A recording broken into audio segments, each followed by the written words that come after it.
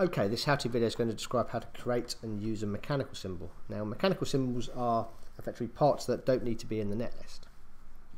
So things like uh, fixing holes, fiducials, tooling corners.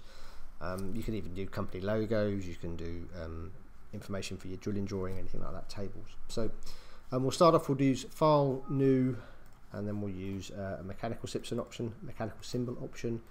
Uh, I'm just going to call this uh, fixing hole. And then you would add the pins like you would for a normal footprint so we'll do layout pins but this time you'll see there's no option for kind of a connector or a mechanical pin it's just going to be a mechanical based pin. So we'll go to our pad stack and we can go and find the hole that we want to use. Uh, let's just pick that one there. And I'm going to put this at X is 0, 0 we're not in the 0, 0 location. That's then added that pad at that 0, 0 location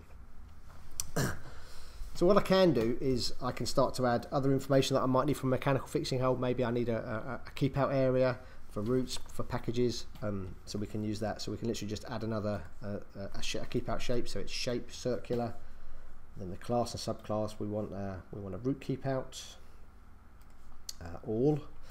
The start point is obviously going to be x is 0, 0, and then I can obviously drag that to the size that I need or specify the diameter that I want by typing in the x command, so x and then an incremental amount.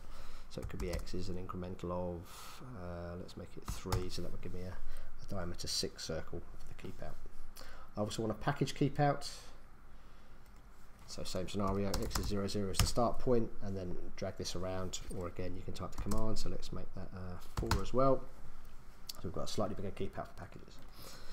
You can, if you want, also add things like package outlines or, or, or silk screen lines depending what you want to do for the fixing cost. We don't need to add a label for reference designator, so it's as simple as that. We then do a file save, and it saves the DRA file and then creates the BSM file automatically. Then when I go to a PCB, so let's just go back to a, a board, I can go place manually and then I've got mechanical symbols and I can get the mechanical symbols available from the library to give me those options to place the mechanical symbols. There's my fixing hole there.